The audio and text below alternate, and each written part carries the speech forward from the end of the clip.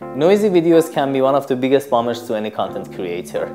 Noise generally happens when you are shooting in a situation where the light is not that optimal and you have to compensate for that by cranking up your ISO. The way ISO works is that it will increase the sensitivity of your camera sensor to light and that's when you start to see some grain and noise in your footage. So what is the solution? Well, as of this video, there is no built-in solution made inside Premiere and because of that we should rely on third-party plugins. And fortunately there are some good ones out there. Mm, Neat Video and Red Giant's Denoiser are among the ones that are extremely popular at the moment. For this video, I decided to use Denoiser 3. Not that it is better than any other plugin, just I feel more familiar using it and more confident applying it to my footage. Anyways, let's see what Denoiser 3 has to offer.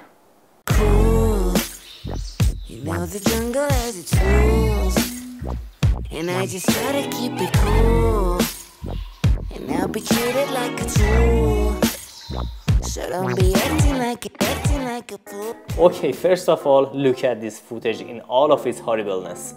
There are noise and grain everywhere. It is basically not usable for any case unless you want to make a video about how to remove noise from footage using plugins like Denoiser 3.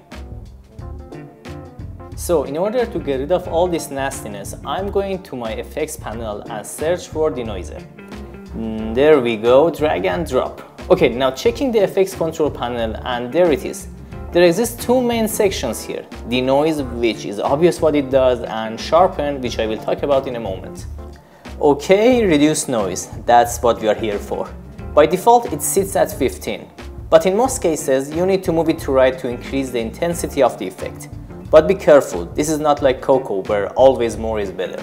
Since the main method of plugins for removing noise is to analyze the pixels and then blend them with the noise, using too much noise reduction means blurry and soft footage. So make sure you use the plugin in moderation. A smooth colors is the next slider that will find color noise in the video and tries to blend it with the other pixels and make the video look much better. I actually really like a smooth colors slider. I don't know why, but I always feel like it makes the picture look better and sharper. Maybe it's just a preference or even just an illusion. Anyway, the next slider is Preserve Detail. This one really tries hard to keep the video sharp and crispy and in most cases, it is successful. Now we are getting to the section that I personally seldom use. It is totally a tasting, but sharpening in general is not my cup of tea. Of course, there are instances that sharpening works like a charm, but again, in those instances, you should be really careful about the amount of sharpening you're adding. Cause remember, sharpening will sharpen everything in the footage, and I mean everything. So my suggestion is that if you want to sharpen, use both sliders and work with them. Try to keep the radius low. As the name implies, the radius will define the area size the effect is going to process. So keeping it low will make it a bit more precise. One of the strong suits of Denoiser 3 is its light nature. Of course, other plugins like Neat Video do a better job, but they are more taxing on your system and your workflow. Okay, that's it. I'm gonna leave a link to download Denoiser in the description below, so be sure to check it out.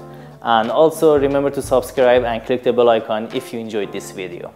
Best of luck and see you in the next video. Too much noise reduction means blurry and soft footage. So make... Shut the up.